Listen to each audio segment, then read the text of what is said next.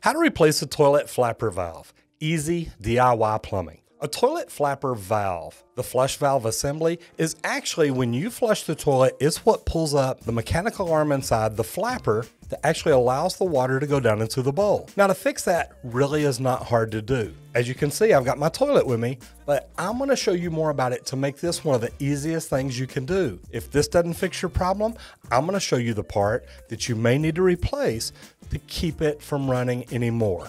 And this can save you a trip from a plumber.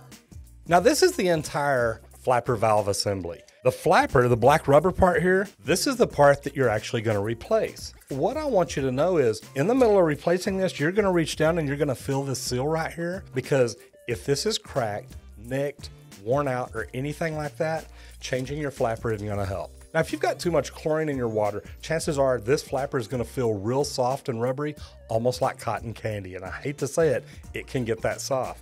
And if it's black, you may want to wear gloves because if you reach in and touch it, you'll get that chlorine eaten black rubber all in your fingers and it doesn't come out easy. This is how the flapper assembly works. You've got a chain here, and when you flush the handle, it pulls up the water. That allows the water to go down from the tank into the bowl and actually flush the toilet.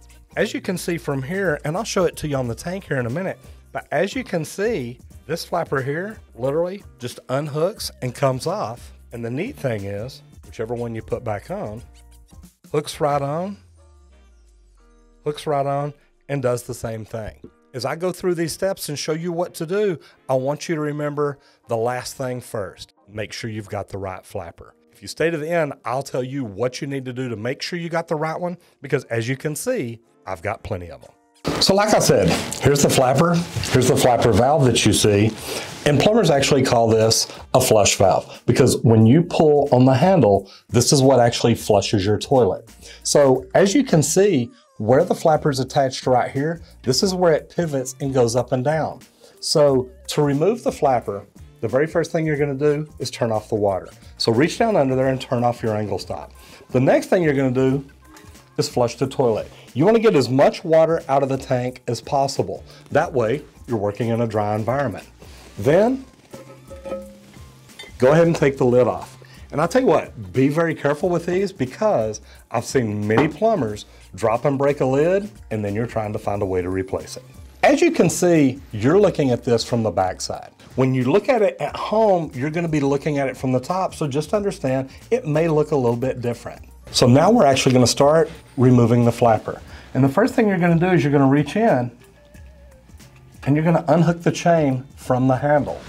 And then reaching from above, you're gonna disconnect your flapper. That way you can pull it out. As you can see, this flapper is different than every flapper that I've got here.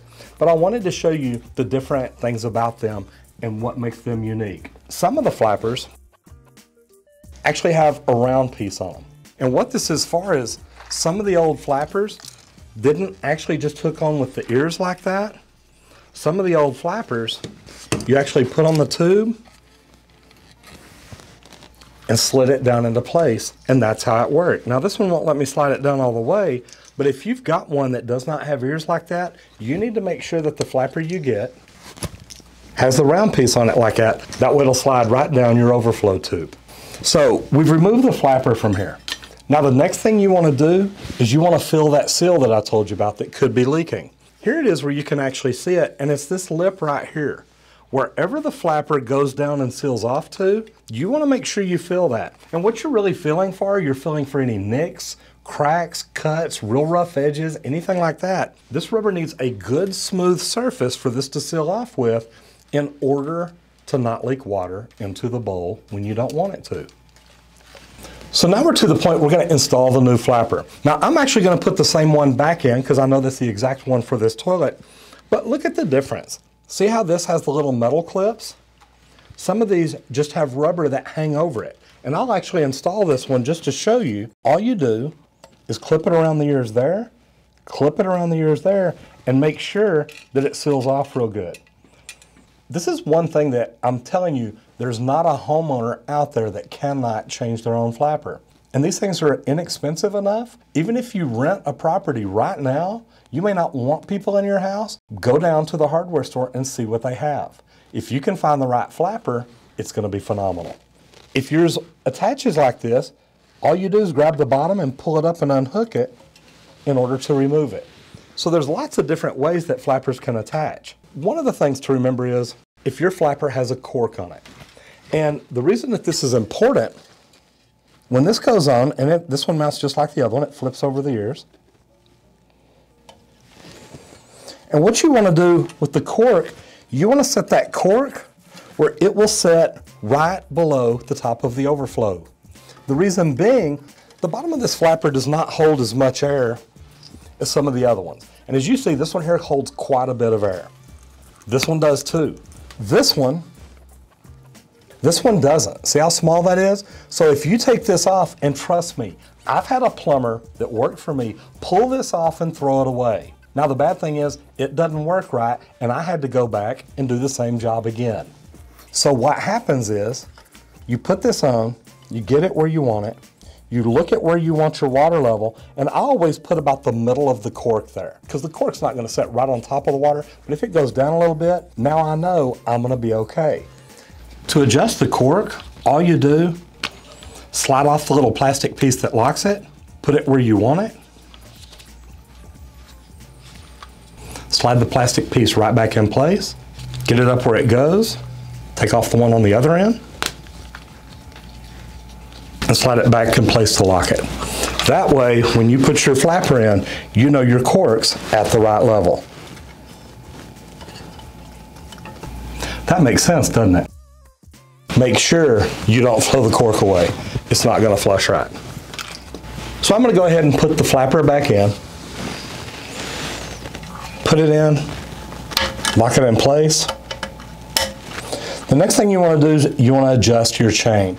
Now, this one actually has a chain. Some of these actually have the ball bearings, and they adjust just about the same. This one here, you've got a hook right there on the end. So once you get it in and get it set to where you want it, what you want to do, you want to let your flapper set in position. You want to hold the hook up to the same height it'll be when it's hooked into the handle. And you want to make sure that you've got just a little bit of slack in it. Then once you get it there, lock it in and then go ahead and install it. So on this one, I know that we're already adjusted. And as you can see, there's a little bit of slack in the chain. Then you want to check the range of motion. If you go to flush this handle, you want to make sure the flapper comes up as high as it will and the handle doesn't come up above where the tank lid will be. So right there, when I pull this down, my flapper is coming all the way up and touching the overflow valve.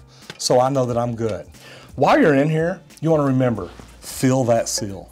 You wanna do that before you put the flapper on because if there's anything at all in that seal, you're gonna have to change out the entire flapper valve assembly or flush valve assembly, whichever way you call it. This looks good though.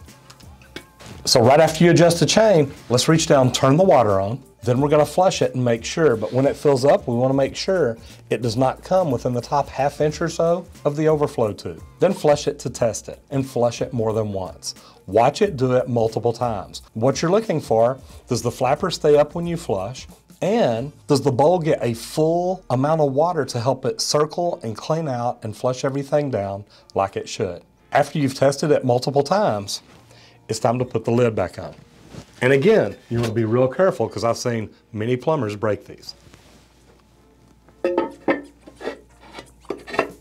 Now the big tip on these is getting the right flapper.